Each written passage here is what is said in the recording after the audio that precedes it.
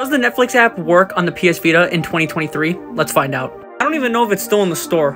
Alright, here we are. Netflix for the PS Vita. Let's download it and see if it still works. Alright, so the application did download. Now let's see if we can even log in. I'll be very surprised if you can. Alright, so it is loading. It's taking forever to load, but look at that Netflix logo. It has not been updated in forever. Look how old this loading screen is. Alright, so it brought me to the member sign-in, so I'm to log in with my account real quick, and then we'll check if it works. It does work, but it looks like this. Not that it matters, but it's in a very old format, and I'm honestly very surprised that it even works. It's also very slow. Like, Netflix on here is extremely slow. But you know what? It works. What's crazy is it didn't even ask me to select a profile, it just instantly brought me to shows. It takes a very long time to load, but it works. Now we can watch Peak on the PS Vita.